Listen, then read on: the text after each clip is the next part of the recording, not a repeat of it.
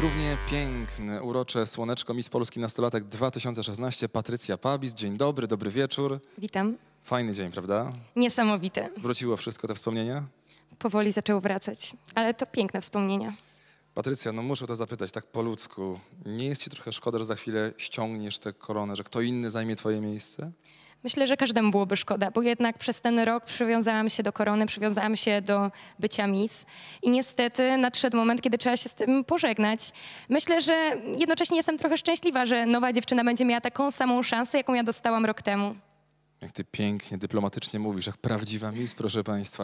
No ale chyba łezka się zakręci wokół, jak będziesz tę koronę ściągała z głowy po roku, prawda? Myślę, że tak, ale to jest bardzo ludzkie, także nie ma się czego wstydzić.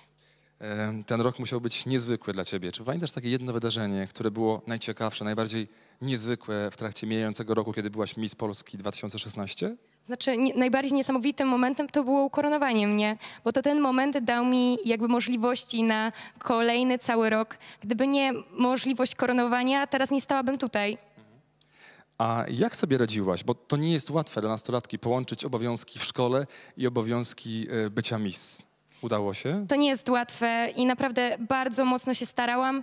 E, Dzięki wsparciu rodziny, nauczycieli i mojemu samu zaparciu udało się. Pięknie. E, Kto dzisiaj wygra? No nie wiem, zobaczymy.